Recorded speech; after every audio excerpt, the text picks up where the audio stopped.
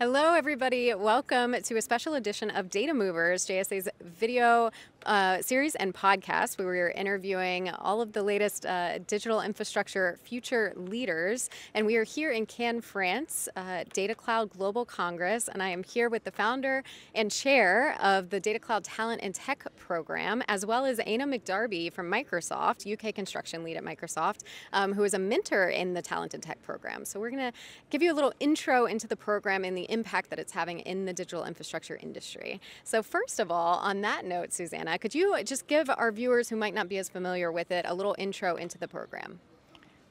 Yes, thank you so much for having us. I'm very grateful for JSA team to actually help us behind this initiative, which is targeted to promote the opportunity for young talent who is interested in AI or cloud or data center may not know how to take their first step. So JSA definitely is the first screen, I would say, to get involved in this initiative. And behind that, Datacloud has a very successful conference with numerous executives, and we have some today joining us, uh, to actually genuinely educate behind the scene about how data center is being designed, uh, how it's being constructed, how it's being operated, and all the different folks that uh, work in the life cycle of the data center.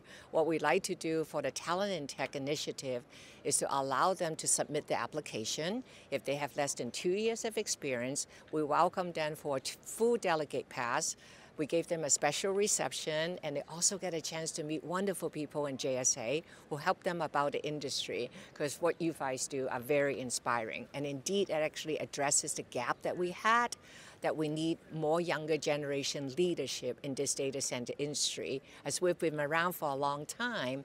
And you take a look at how AI is actually taking off, and all the folks that basically are embracing the AI first is actually the young generation. So we like to pave the way forward and uh, really, really grateful uh, for JSA's support to help us to get the word out. Excellent. Thank you so much for that intro. We've been interviewing a few um, of the people in the Talent in Tech program, the students in the program, and they all have such amazing things to say about Talent in Tech. So clearly it's making a huge impact. And so Eanna, I'm curious from your perspective as a mentor in the program, what are your uh, impressions of the program so far and uh, you know some of the, the younger folks coming into the industry? Thanks, Candice, and uh, thanks, JSA, for your time today. Um, so my impression today with Talent in Tech has been uh, that it's a fantastic effort and it's great to see the enthusiasm, especially from some of our emerging talents. Um, so today we spoke about um, different career paths. There was a lot of discussion around sustainability, the AI revolution, and particularly around transfer of skills. So we have people from consultant side, contractor side, and also owner client side. So uh, I was very happy to talk about my career journey in the DC industry and uh, basically my focus point in my day-to-day job, uh, how we manage construction safely across the UK portfolio, and everything involved are behind the scenes with the AI revolution. So um, very happy again to share that story today with the uh, the emerging talents. So thanks.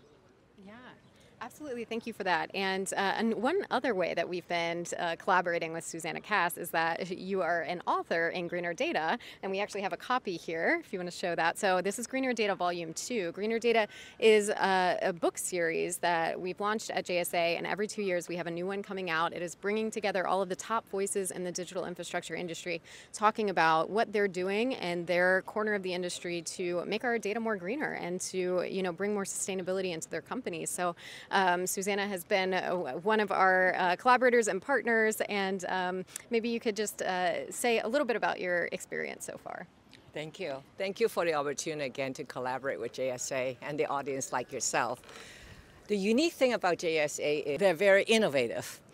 And uh, so even when they put together the Greener Data Volume 2 book, it's just the approach they take is extremely innovative. So instead of actually having one author wrote multiple chapters, they actually seek out the voices in the industry that touches on different part of sustainability. As we all know, when we actually build sustainable data center, we really do need to have a village of different people that think differently.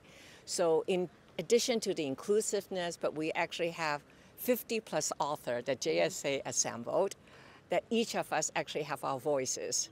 And uh, it's a wonderful way for folks that doesn't understand about data center or what is sustainability, where to start, uh, for you to actually get to know the author in addition to the content.